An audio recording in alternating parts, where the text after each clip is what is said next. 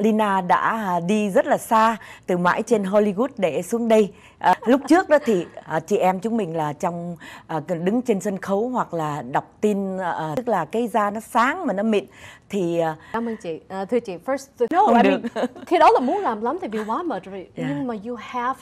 yeah, so So, so those two things. Còn cái thứ ba và những người à, khoa học gia họ đã tìm ra cái cách để mà trị à, ung thư da Dạ vâng. thì họ tìm ra cái cái à, s- à, mỹ phẩm này dạ vâng, tại vì họ thấy cái cái side effect đào trúc đào thì người Việt Nam mình nói đó Oh. là nếu mà mà mình mà không biết cách xài trong cái cái hoa này nó có cái cái chất toxic, cái chất độc, cái Yeah. poison của nó. cái kem đó thì Dạ, chứng một cái- tỏ là cái kem đó phải thật tốt Exactly. Yeah. Thì CBS mới làm cái story để coi là is this Fine thì Dạ phải. vâng. Dạ thì thấy là đúng rồi là họ đã research cỡ 10 năm nay. À, nhưng mà nếu mà chị kiếm được một cái kem mà nó repair cái skin mình được bởi vậy em có rất là nhiều người bạn Vậy thì cái kem này là à, mình à, xài ban đêm thôi ha.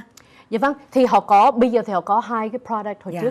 Ờ, nên thử cái cái cái kem đó để tiền mình tại vì đưa thẳng trực Dạ, tiếp đúng đến rồi. là người tiêu thụ. dạ vâng và và Nếu mà dạ mình vâng. không có um, Mà không có hài lòng hợp, thì- hài lòng thì là thì- mình thì trả mình- lại dạ, là vâng. họ trả lại. Yeah. Dạ. So Vậy thì cái easy. Cái đó là vậy là no- mình cứ no vô cái website thôi phải không no ạ? risk dạ vâng cho mấy cái quý vị mà có da sensitive á, lần sau thì chắc mời Lina nói về cái hội của Lina là Love Across the Ocean là Lato. Kính thưa quý vị, Lina là một người vì đẹp trong mà đẹp ngoài nữa. vâng em em em sẽ đến vậy ờ, lại với chị với ờ, quý khán thính giả À, và à, hy vọng là lần sau thì